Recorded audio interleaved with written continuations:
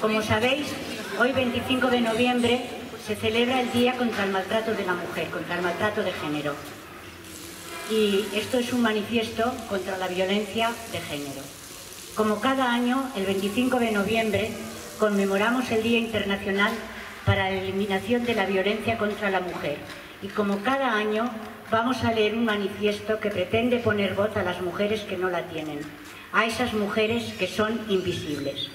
La violencia de género es un problema de mujeres y de hombres, de la infancia, de la juventud, de las personas mayores, de cualquier clase social, cultura, ideología o religión.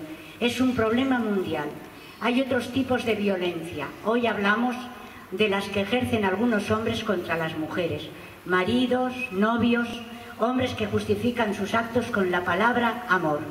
Tendremos que revisar lo que entendemos por amar, cuidar a otra persona.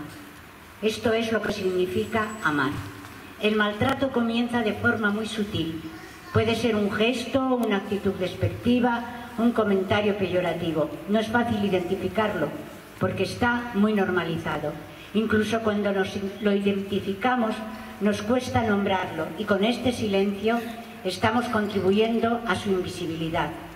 Queremos también hacer mención especial a otras víctimas, las más inocentes, las niñas y niños que a través de la violencia que padecen sus madres o en algunos casos de forma directa están siendo maltratados.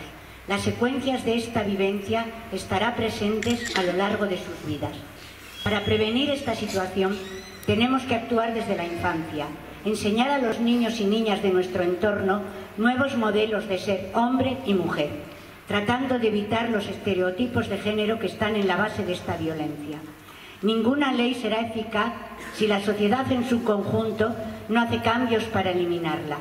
La finalidad de este manifiesto es hacer patente nuestro rechazo a esta violencia y fomentar modelos alternativos de convivencia.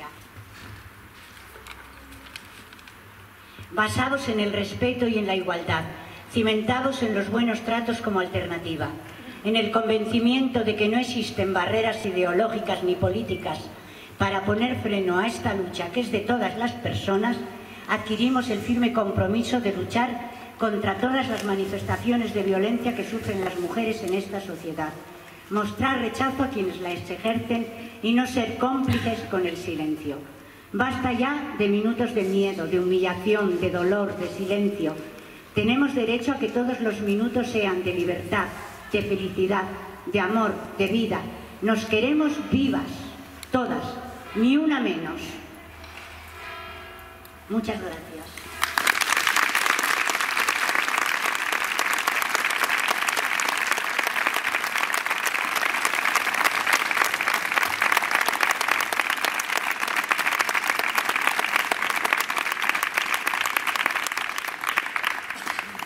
La pancarta contra la violencia se volverá a colgar en el, balcón del ayuntamiento y allí permanecerá pues unos días.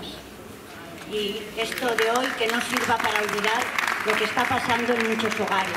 Hoy mismo ha habido otra muerte más. Entonces hay que seguir luchando porque se nos vea y se nos oiga.